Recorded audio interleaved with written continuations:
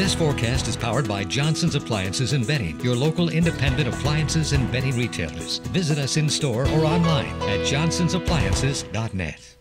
Good morning, everybody. Happy Hump Day Wednesday. Hope you're doing well out there. Things are going to be much better than yesterday. At least we're going to be brighter and we should be in a, a, better mood overall, right? We have high pressure in control down to our south. Winds are going to be out of the south and southwest today. Even though we had a cold front come through, we're not really going to see much of a difference in our temperatures. Still, I'm thinking middle 50s for a lot of us under those partly sunny skies. So that right there should get you motivated to the point where maybe you're going to do a couple miles outside today. I normally do a mile on the treadmill a day. I'm going to take it outdoors. We have some snow showers up here as a piece of energy comes through uh, the Great Lakes. That's going to stay far away from our region, the snow at least. Later on tonight, that's going to pivot down into our neck of the woods. It'll increase the clouds, and there could be a couple showers that are seen as a result. Out the door, partly mostly sunny skies. Temperatures starting off in the lower uh, 40s, north factor of a 6. And look at that, sun is going down at 553. In a week from today, actually less than a week from today, we're going to see our sun going down at 7 o'clock. And if that doesn't get you excited, huh, I don't know what will. 42 right now in Philly, 45 for Atlantic City, 43 in New York, 36 in Harrisonburg, Virginia, and 38 in the Charleston area. Winds will be a little bit of an issue today. Absolutely. We talked about this yesterday.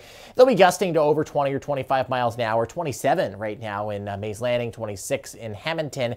And right off the bat, that's making us feel chillier, like we are in the 30s at this hour, but it'll start to feel better through the afternoon. So our Futurecast satellite radar shows you where those clouds are up to our north and west. We are sunny right through the remainder of the morning into the early afternoon period, and then here comes a, a brief shot of clouds and a couple showers sometime after the dinner hour. That gets out of here, and we are looking at nice weather going into your Thursday. 56 today in Hamilton, 57 for Bridgeton, 55 in Atlantic City, 58 in Philly, and 59 in Wilmington. And under the right conditions, I mean, with that southwest wind in place, I wouldn't be too shocked if some of you got to 60 degrees today. 34 tonight, mainly cloudy. We have a chance of a passing shower mainly early in the evening. Just after the dinner hour, we'll open that window up until about 10 or 11 o'clock. Tomorrow, partly to mostly sunny, 54 degrees. I'm going to go a north factor of a 10 because our winds are going to back down to a point where it's not uh, overbearing. You're not being blown all over the place. I got to change the snow background because, well,